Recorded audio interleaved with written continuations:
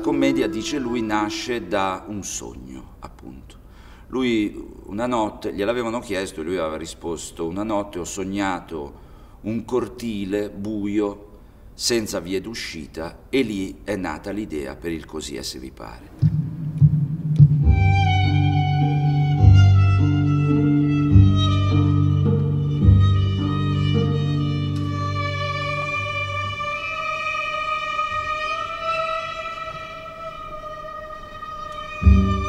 Ah, un fantasma.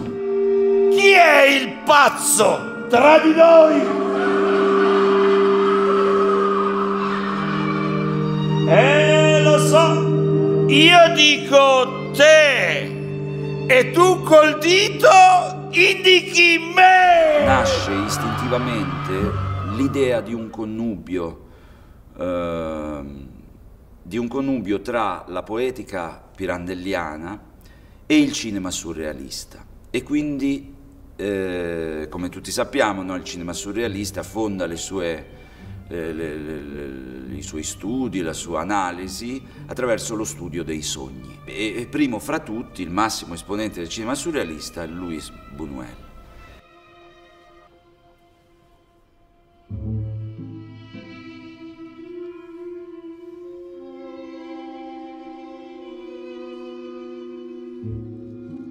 L'attore è un po' come lo sciamano di una tribù, ti dà il contatto tra la tua vita e quella degli dei, è, quel- quello strano, strano tramite che serve a- a- alla comunità per capire dove si è e dove si sta andando.